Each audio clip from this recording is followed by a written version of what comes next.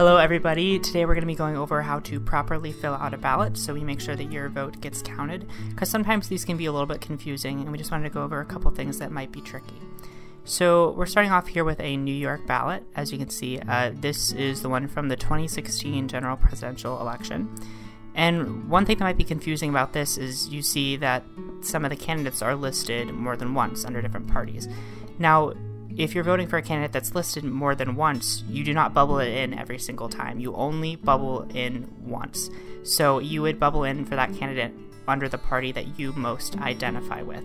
Otherwise, if you vote for, if you bubble in more than one thing, your ballot is canceled and it, and it doesn't work anymore.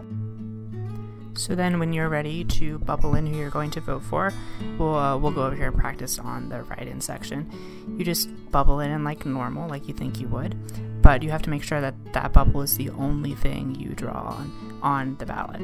So you can't like cross out candidates that you know you're not going to vote for. Any other marks or things like that will make your ballot invalid. So you want to make sure you don't do anything that like I just did.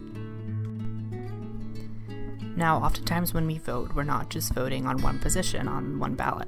So, uh, like in this North Carolina ballot, this is often dealt with by kind of spacing them out into different parts.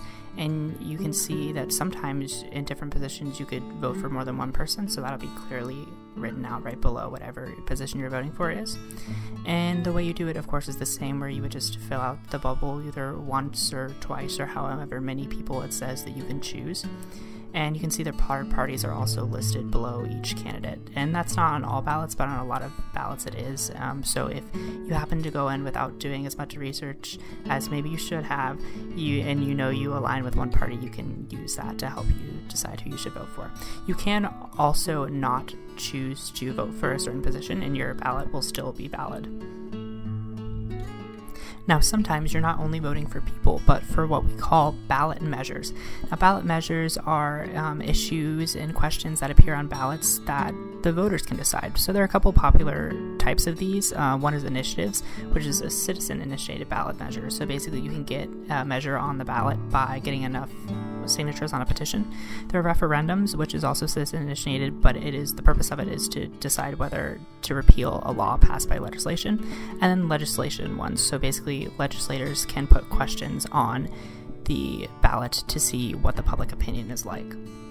So, the last way of filling out a ballot that we're going to talk about today is the electronic version. So, some states have this and they're each a little bit different, but for the most part, a poll worker is going to give you your ballot and you're going to feed it into the machine. Then on the machine is where you're going to use the touchscreen to select who you would like to vote for.